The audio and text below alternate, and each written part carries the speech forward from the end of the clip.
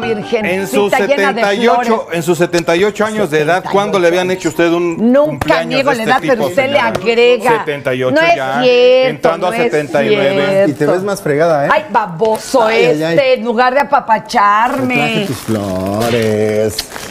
Feliz cumpleaños. Pero me iba a traer una corona de muerto, ya me contaron, es un zángano. Voy a La- tú- acomodar sí, tuve que juntarlo ¿eh? todo. Ay, está bueno ahí el. En la Ay, mesa de el regalo. Ay, ceviche. La mesa de... Ah, Ah, te mira le voy a traer su ceviche. Está en 150 la copa de dama, porque estamos Eh, hoy dos por uno Sí. por la hora, por la ¿Y hora. qué, qué solo incluye la platicada? y ya? Depende, depende este, cómo te portes y... Qué bueno a ver, que, ya qué bueno que por su pónganse a hablar de cumpleaños- lo que viene a hablar. que por su Que, cumpleaños que te arranques con lo que viene.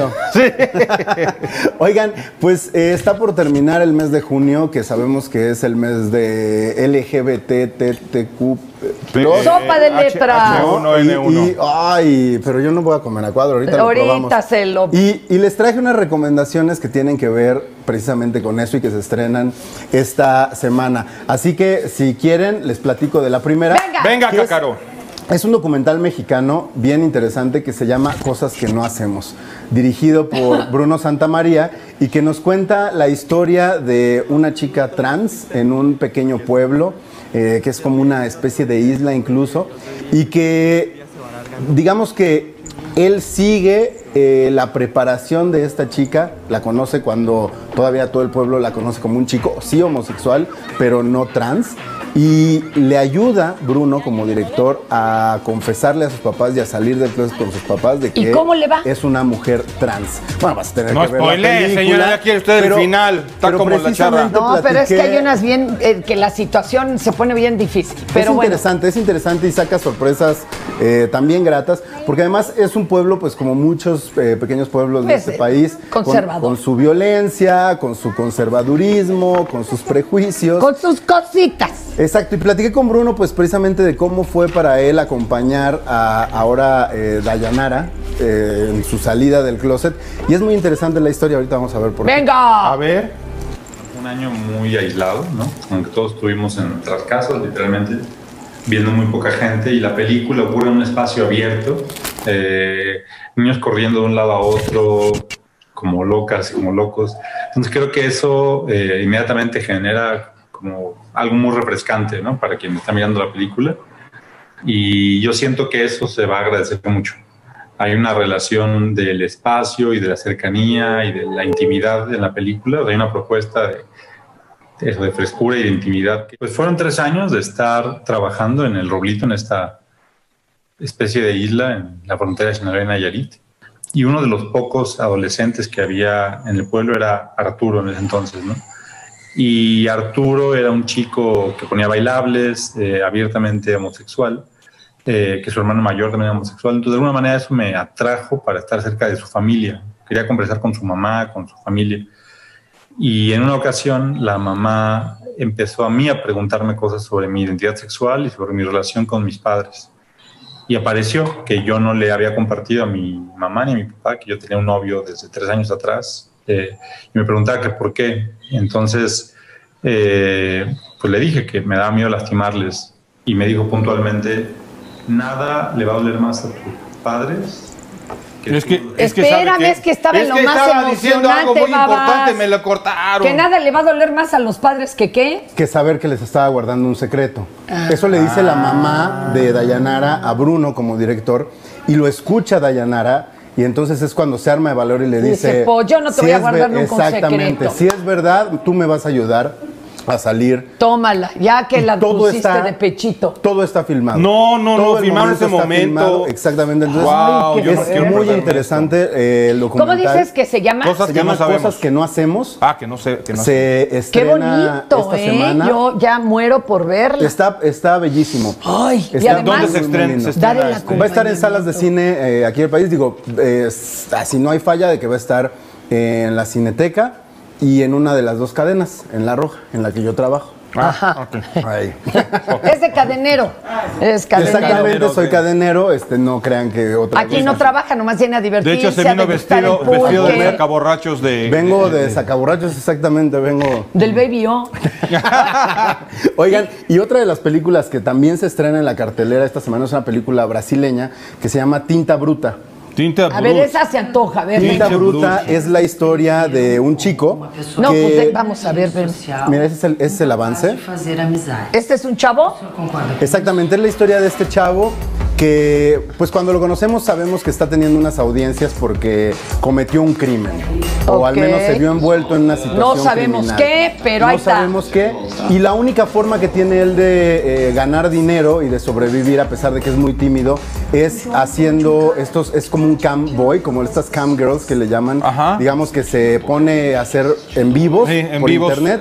por Y- lana. Y quien paga, pues les hace Pues ya ves cómo sacan dinerito hasta de adentro de la penitenciaría. Sí, los reos de Pue- Puebla. Los reclus de Puebla Fíjate. y hasta dicen, hacemos esto porque tenemos que mantener familia afuera y nuestros gastos Claro. aquí. Él, él tiene esta situación eh, de que está en juicio, por decirlo de alguna forma, pero además lo dejó el, el papá, lo dejó la mamá porque murió, la hermana lo deja porque se va a estudiar. Entonces está completamente solo. Y un día, en uno de estos eh, shows, eh, se da cuenta de que hay otro chico que está compitiendo con él, ¿no? Que tiene Ah, otro. que tiene una hace lo mismo que él. Y de- deciden que se van a conocer. Se conocen, hacen un video juntos y empiezan a tener una relación. Pero este tipo es tan, tan, tan tímido, tan aislado, que le cuesta trabajo y es precisamente como está tan acostumbrado a tener una personalidad frente a la cámara. Ah, sí, ya en que vivo es cuando otra en vivo cosa. la- lo debe de hacer, le cuesta mucho trabajo intimar. Platiqué también con los directores y con el actor protagonista de esta película sobre esos temas. A ver, ¿y qué y te es que me dijeron? contaron. Suena bien ruda. Our first, uh, our initial step on the on the idea of the film was to do a film about departures. So we have this character Pedro who has almost this kind of syndrome of abandonment that people are constantly leaving him, and that's because we lived in a city, Porto Alegre, that we felt that city as a city of departures. All our friends were constantly moving to larger cities to Sao Paulo, Rio, or even abroad. With internet, when we say goodbye to someone, the relationships they don't end as they used to be. They keep on going, but uh, it goes on virtually. Because in the virtual world, especially through social media, we tend to create these online personas. You know, we can filter what we want to show. We can uh, hide some parts, uh, highlight some other parts, invent some uh, others. So we can create these personas that tend to be idealized versions of ourselves. because I think we are always uh, in this trying to understand ourselves in these uh, wor- two worlds and how they connect with it with with each other. I think that the journey of Pedro is uh, somehow is also my journey uh, as an actor, as a person. Uh, it's always this question: uh, Who am I here, and who am I here? Is the same person? Is not the same person? Is a persona, or or is this real? So I think that the film it's uh, it's also about these questions. Ay, ¿Qué tal? qué fuerte. Y en el momento tan de ultraderecha de Brasil, pues está Exactamente, peligrochón, exactamente. peligrochón. También llegué a hablar de eso con los directores y, y era lo que, lo que me decían, que no es tan difícil hacer una película sobre estos temas, lo difícil es distribuirla. Lo difícil es ponerla en la sala. Ay, no más. No, nadie te lo va a prohibir. Pues eh, nadie te, te va a dar chance de hacerla, pero... Y luego, ¿quién la proyecta? Es aventarte el tiro de quién va a, a proyectarla, distribuir ¿no? a sí. distribuirla y a mostrarla. La película ganó hace dos años el Teddy Award, que es el oso de Berlín, pero para cine LGBT. Ah, qué Se llama Teddy. bonito, Y, qué este, bonito. y la verdad es que vale. Saludos a muchísimo, todos los osos. Ah. Acá en Mexicalpan de las Dunas. Yo pensé que a, a Berlín. Saludos a Berlín. También. También puede no, ser, aquí no es Berlín, ¿o ¿cómo se llama? Esto no es Berlín. Esto no es Berlín, Que otro también toca, peliculón. toca temas LGBT. Sí. Uh, Sí, sí, sí, pero sí, sí. peliculón, ¿eh? Chidísimo. Muy, muy chida. Y entonces, la verdad es que valen mucho la pena las dos. Creo que además, eh, por ser el mes del orgullo. Hay eh, que también hay que ir. abrir. Oigan, todo el mundo estamos invitados a verlas, no nada más el LGBT, Sí, no, que para eso tiene Claro. muchas letras. No, es el chiste. Para que ag- agreguen este bugas, heteros, heteroflexibles, ¿da? Claro, porque además no solo buscan identificarse con ese público, sino también mostrarlo Sí, al público abrirlo. que no necesariamente pertenece a ninguna Vamos de a mandar salud. Ah, todavía tenemos, tenemos. Un minutito, Es señora. que, ¿qué crees? Como era cumpleaños, trae regalo. para el público. Traigo regalo, pero para el público. Ve qué bonito. Donde que nos escriban, miren, ahí está. Traemos de HBO. De me esa mandaron serie, guau, un gorrito, porque sin gorrito no hay fiesta, unos Sí. guantes, una bufanda.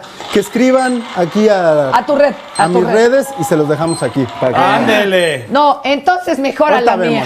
vemos, Da tus redes. Ahorita vemos. Arroba Gonis, G-O-N-Y-Z, ahí lo piden y ahorita nos hacemos. Ok, promociones arroba fernandatapia.com y que nos digan qué actriz lleva esa serie, que es una actrizaza oscareada. Ah, exacto. ¿Eh? Se le hundió a un mandar barco. saludos.